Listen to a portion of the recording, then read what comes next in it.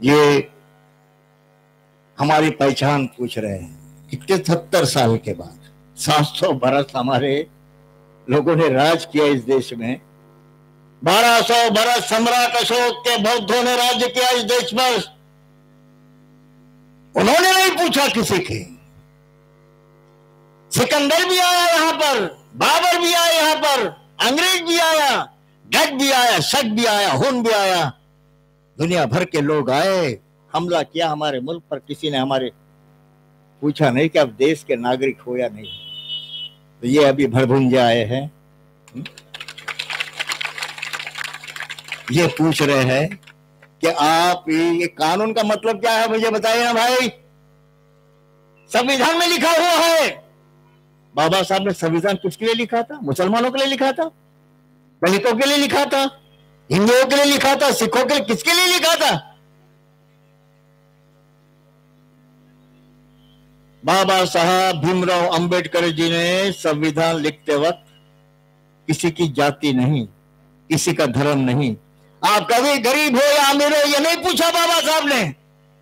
आप कौन सी भाषा बोलते हैं नहीं पूछा।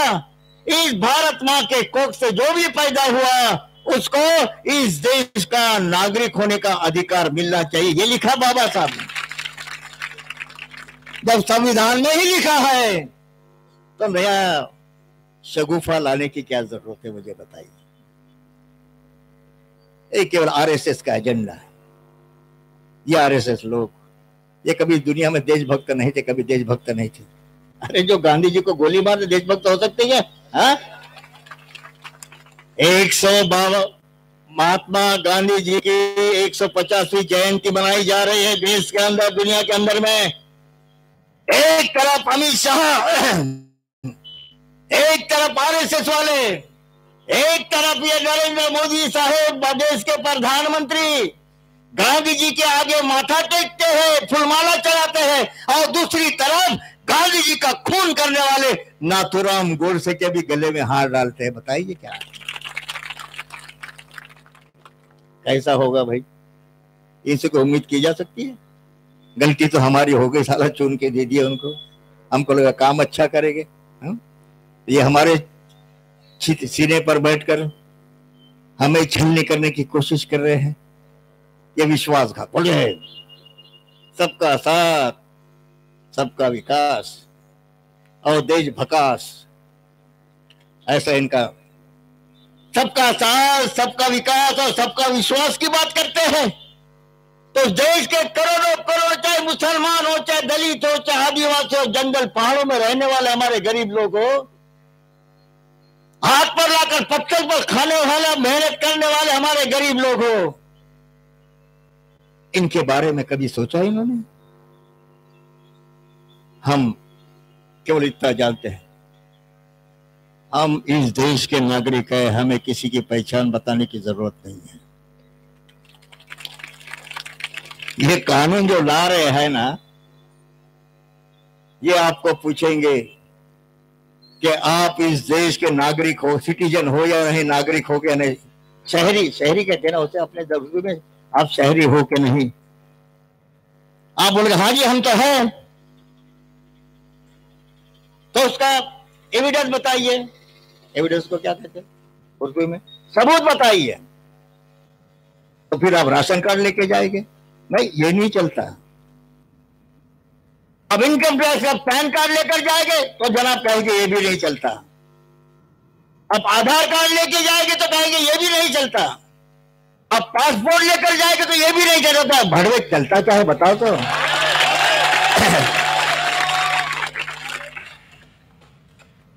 तो बोलेंगे तुम्हारा बाप, तुम्हारा दादा, तुम्हारे दादा का दादा दादा का दादा के दादा दादा।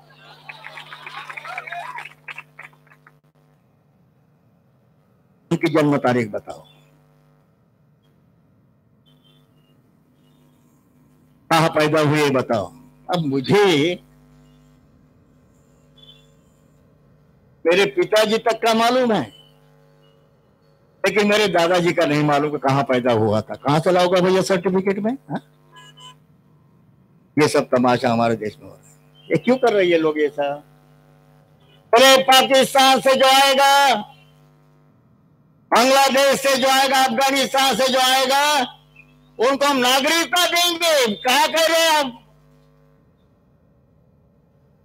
शाह साहब कह रहे हैं कि हम नागरिकता देने के लिए कानून बनाए, छीनने के लिए नहीं बनाया। जब तुम्हारा इतना ही नेक इरादा अगर होता, इतनी ईमानदारी होती तो गांधी को मरवाने वाले तुम लोग आज देश के करोड़ों लोगों को मरवाने की कोशिश कर रहे हो हाँ? गांधी जी को मारकर इनका दिल नहीं भरा अभी तक। इस देश के दलितों को, आदिवासियों को, मुसलमानों के अधिकारों को, नागरिकता के अधिकार को छीनकर, गुलाम बनकर इन लोग करोड़ों लोगों को मारने की साजिश कर रहे भारत माँ की एकता और अखंडता को तोड़ने की कोशिश करे, साजिश करे, बात करें। हम अपने लिए नहीं लड़ रहे हैं। इस देश का चाहे मुसलमान हो, चाहे मोमिन हो, इस देश का चाहे दलित हो, इस देश का चाहे ईसाई हो, चाहे सिख हो, इस देश का जंगल पहाड़ों में दरी खोरी में रहने वाला हमारा आदिवासी हो, हमारा घुमंतु समाज हो, ये हम लड़ रहे हैं कर एक चीज़ के लिए। इस देश की भारत माता की एकता और अखंडता बनाने के लिए जिस बाबा साहब ने संविधान लिखा, उस संविधान की हिफाजत करने के लिए लड़ रहे हैं हम, संविधान की हिफाजत। संविधान, गुलदस्ता होता है ना, गुलदस्ता देखा होगा आपने। बागवान होता है बागवान। तो बगीचा के अलग अलग रंग के फूल इकट्ठा करता है, तोता इकट्ठा करता है, और जब उसका एक गुलदस्ता बनाता है, सुंदर गुलदस्ता बन जाता है। ये गुलदस्ता, चाहे हिंदू हो, मुसलमान हो, दलित हो, आदिवासी हो, सिख हो, ईसाई हो, सभी धर्म के, सभी जाति के लोगों को अलग अलग भाषा बोलने वाले लोगों को इकट्ठा लाकर बाबा साहब ने एक गुलदस्ता बनाया। उसका नाम है संविधान संविधान। उसका नाम है संविधान।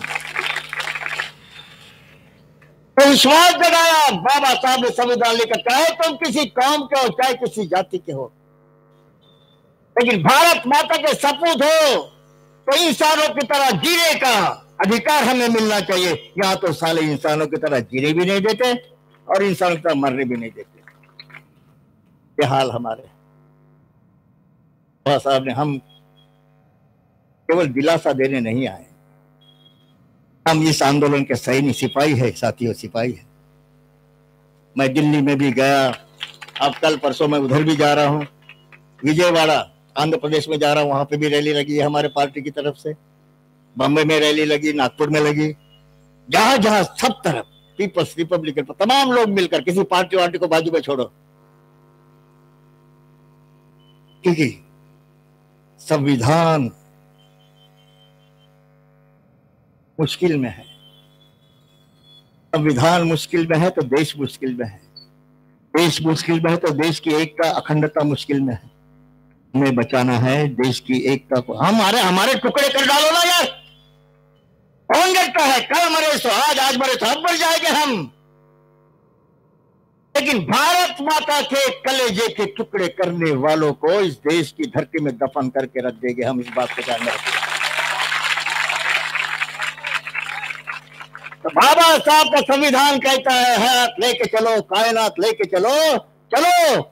तो सारे मुल्क के तमाम लोगों को साथ में लेके चलो, ये कहने वाला इस देश का संविधान।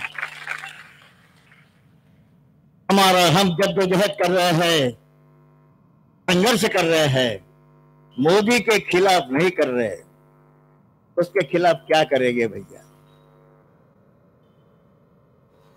के खिलाफ नहीं कर रहे हैं। इनके जो आका है, आरएसएस वाले। राष्ट्रीय स्वयंसेवक ये गांधी जी को जिन्होंने मरवाया, और बैरिस्टर जिना को बहलाकर, फुसलाकर पाकिस्तान मांगने पर मजबूरी ने नहीं किया। मौलाना अबुल कलाम आज़ाद और बैरिस्टर जीना साहब नहीं चाहते थे, देश की बंटवारा नहीं चाहते थे। लेकिन ये हमारे साथ में रहा तो हमारा क्या होगा? इस डर की वजह से उन्होंने इस आरएसएस वाले लोगों ने देश का बंटवारा करने के लिए मजबूर किया। और आज वही लोग एक कानून लाकर, नागरिकता कानून लाकर एनआरसी कानून लाकर, एनपीआर कानून लाकर फिर दूसरी बार इस देश का बंटवारा करने की साजिश कर रहे हैं। एक बार बंटवारा हो चुका भैया। अब बंटवारा करने का खौफ मत देखो, क्योंकि जाग गई है कौम। जाग गई है कौम। अब जाकर देखिए दिल्ली के। दिल्ली गेट पर जाकर देखिए। इंडिया गेट पर जाकर देखिए। आज़ादी के लड़ाई में जो शहीद हुए, उसमें करीबन नब्बे नाम हमारे मुसलमान, लोगों के हैं नब्बे नाम मुसलमान। नब्बे प्रतिशत। साठ प्रतिशत दलितों के नाम हैं।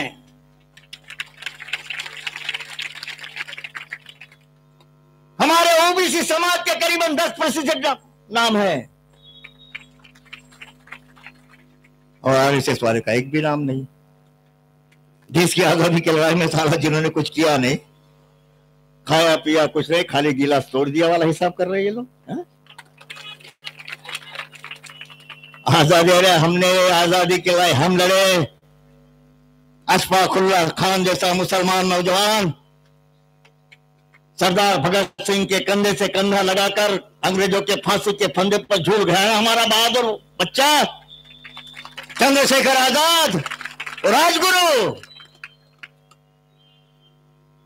सरदार भगत सिंह के कंधे से कंधे मिलाकर अशफाकुल्ला खान जैसा हमारा नौजवान शहीद हो गया, देश के लिए कुर्बानी दी। तुमने क्या दिया? गांधी जी को मरवा दिया।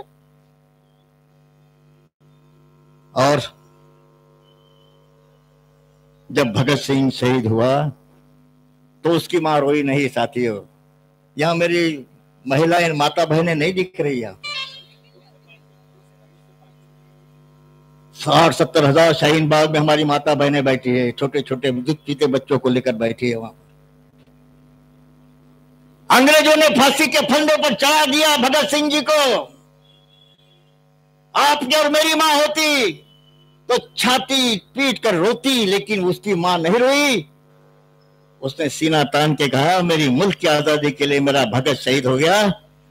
इससे ज़्यादा फक्र की बात मेरे लिए क्या हो सकती है? अशफाकुल्ला खान।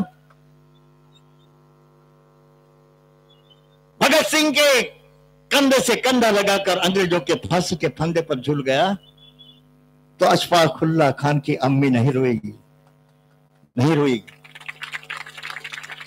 सीना तान के कहा कि मेरे मुल्क के लिए मेरा अशफाक कुर्बान हो गया, मेरी कोक का सोना हो गया, मेरी कोक का सोना हो गया, कहने वाली वो माता। पहचान पत्र बताने की बात करते हो? इस देश के नागरिक हो या नहीं हो? ये बताओ। ऐसा कानून बनाते हो, शर्म नहीं आती तुम्हें? तुम्हारी हर पीढ़ी, दर पीढ़ी देश के साथ गद्दारी और करते रही, बेईमानी करते रही। बेईमान लोग, ईमानदार लोगों को हिसाब पूछ रहे बताइए। गद्दार देश के साथ जिन्होंने गद्दारी की, महात्मा गांधी का खून किया, वो हमें देशभक्ति का प्रमाण पत्र पूछ रहे देशभक्ति का प्रमाण पत्र बांट रहे साथियों, ये कानून जो आएगा तो नागरिकता के जो अधिकार है, वो छीन लिए जाएँगे, छीन लिए जाएँगे। आपका मकान आपके, आप मालिक हो मकान के। अगर नागरिकता नहीं सिद्ध कर रहे साबित नहीं कर पाए नागरिकता तो आपको आपके मकान का अधिकार छीनना, छीन लिया जाएगा। आपको बिजली नहीं दी जाएगी, आपको बैंकों से कर्जा नहीं मिलेगा, आपको कारपोरेशन का पानी नहीं मिलेगा। और सबसे बड़ी बात, जो बुनियादी हक बाबा साहब के संविधान ने हमें दिया, चुनाव में वोट डालकर अपना सरकार अपना राजा चुनने का अधिकार वो भी नहीं मिलेगा। बताइए फिर क्या करोगे? कौन पूछेगा फिर तुमको? ये देखिए ना कितना बड़ा हक बाबा साहब है। पहले के जमाने में जनाब, रानी के पेट से राजा पैदा होता था। इस देश का संविधान बनाकर बाबा साहब ने ऐसा चमत्कार कर दिया। रानी के पेट से नहीं तो चुनाव के पेटी से इस देश का राजा पैदा करने का अधिकार आप और मेरे जैसे इन लोगों को दिया। ये अधिकार छीनना चाहते आप रहो देश में लेकिन नागरिक बन के नहीं। आप कमाओ, काम धंधा करो, रोजी रोटी कमाओ, मेहनत करो, सब कुछ करो। लेकिन चुनाव में वोट देने का अधिकार नहीं सबको अगर नागरिक नहीं तो फिर क्या होगे? अगर आप नागरिक नहीं बने तो क्या बनोगे? ये ब्राह्मणवादियों के, मनुवादियों के, आरएसएस वालों के गुलाम बनोगे। इस देश के। ये केवल मुसलमानों का मसला नहीं है, साथियों। केवल मुसलमानों का मसला नहीं है। मैं धन्यवाद देता हूँ कि देश के तमाम हमारे मोमिन भाई, माता, बहनें आज सड़क पर उतर चुके हैं। बुरका डालकर ही सही, लेकिन सड़क पर उतरी हमारी माता बहने। ये माता बहनों की ताकत देखिए आप। अगर ये सरकार ने ये कानून, काला कानून वापस नहीं लिया तो ये हमारे माता बहनों के हाथ में कांच की चुड़िया है, या अन्य अत्याचार अगर सरकार ने बंद नहीं किया तो हमारे माता बहनों के हाथों की कांच की चुड़िया तलवारें बन जाएगी।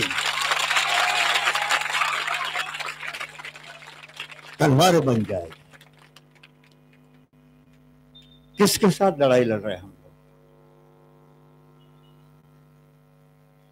हम मांगते हैं रोजी रोटी तो हमें बताते हैं, हिंदू, मुसलमान और पाकिस्तान, इतना ही बताते हैं। हम मांगते हमारे देश के नौजवानों के हाथों को काम दो। पंद्रह लाख रुपए जमा करने का वायदा किया था आपने, वो पूरा करो। जिनके सर पर छत नहीं, उनको मकान देने का वायदा आपने किया था, पूरा करो। ये वायदे पूरे कर नहीं सकते। इसलिए इस प्रकार के नौटंकी शुरू कर रखी है, ताकि देश के लोगों का ध्यान महँगाई। हमारी अर्थव्यवस्था नीचे जा रही, गड्ढे में जा रही है। इसके तरफ़ लोगों का ध्यान भटकाने के लिए इस प्रकार की साजिशें लोग कर रहे हैं। लेकिन एक बात ध्यान में रखिए साथियों इस कोने से लेकर उस कोने तक। नांदेड़ से जो भी आवाज़ उठती है, देश को हिला देती है, सरकार को हिला देती है, लगा।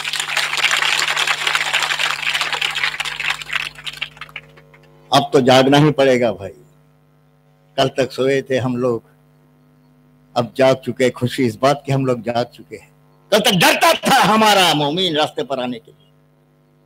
अरे मरता क्या ना करता बोलते जब गले पर छुरी आ गई, अब ध्यान में रखिए, जो लोग इस आंदोलन में नहीं है, ये काले कानून के विरोध करने के लिए जो लोग रास्ते में नहीं है वो, बकरे की माँ कब तक खैर बनाएगी मराठी में कहावत है काही जात्यात जात्यात आहे तर सुपातले लोक हसून राहिले पण सुपातल्या लोकांनी जात्यात जायचं आहे लक्षात ठेवा वो चक्की होती है ना, चक्की?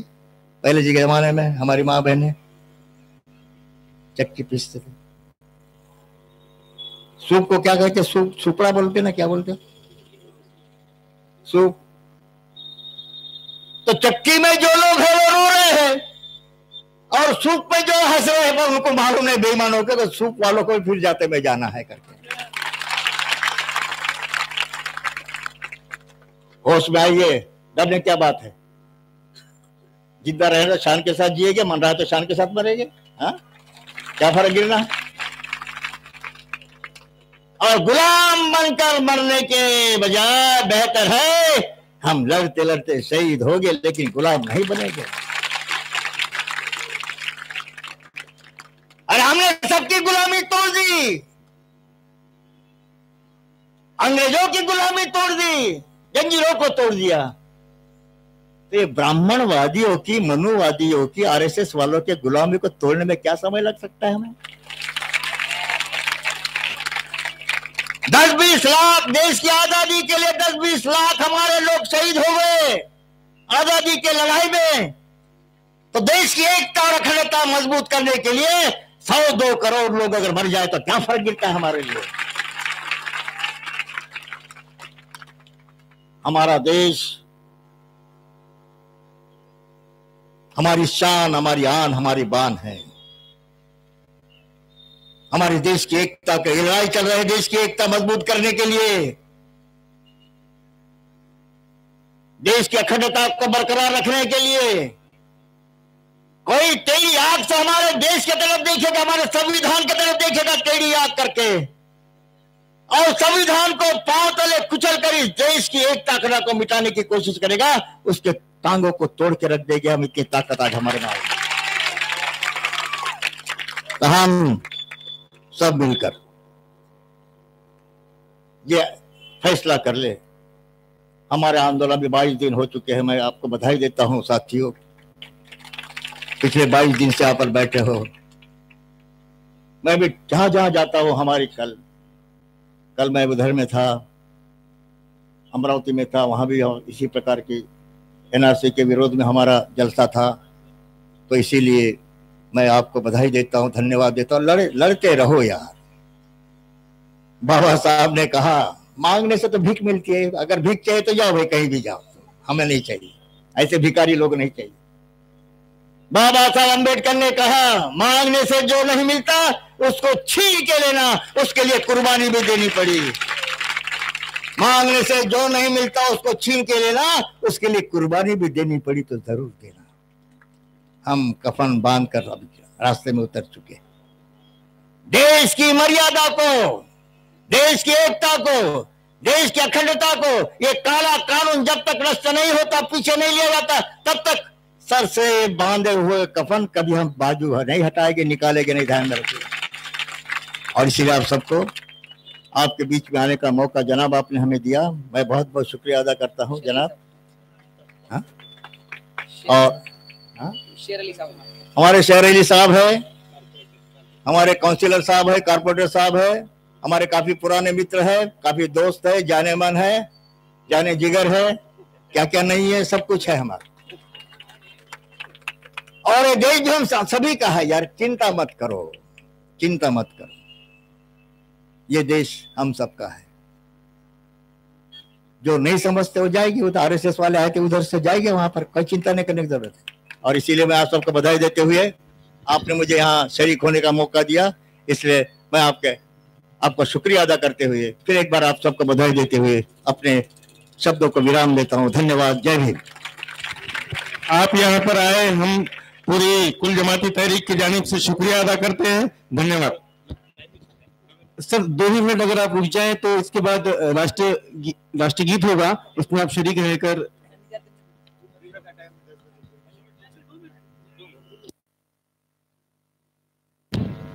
मैं कहूँगा, भारत देश की क्या है शान? आपको कहना है बाबा साहब का संविधान। भारत देश की क्या है शान? भारत देश क्या है, शान? भारत देश क्या है, शान? मेरे देश की क्या है, शान? तेरे देश की क्या है, शान? साथियों, आवाज़ दो। साथियों, आवाज़ दो। बहुत बहुत शुक्रिया, साथियों। जिस तरह से आपको पता है ये जो हमारा धरने आंदोलन है चौबीस घंटे का है, मगर कानून के दायरे में रहते हुए हमें ये कार्यक्रम चलाना है। दस बजे हमें माइक की पाबंदी होती है, बंद करने की पाबंदी होती है। उसके लिए सिर्फ़ हमारा बड़ा माइक बंद होगा, मगर हमारा प्रोटेस्ट जारी रहेगा। इसके बाद दुआ होगी, और मैं अदबन गुजारिश करता हूँ यहाँ पे रुके हुए लोगों से कि दुआ में ज़रूर शरीक हो। आखिरी वक्त में वहाँ का तमीज पड़ी जाएगी। संविधान का तमीज पड़ी जाएगी प्रियम्बल पढ़ा जाएगा। उसके बाद आप नहीं बैठे रहे, बड़ा माइक बंद होगा। बाकी मेहमान जो जा रहे हैं, उन्हें जाने दें। और बाकी लोग यहीं रुके। बाकी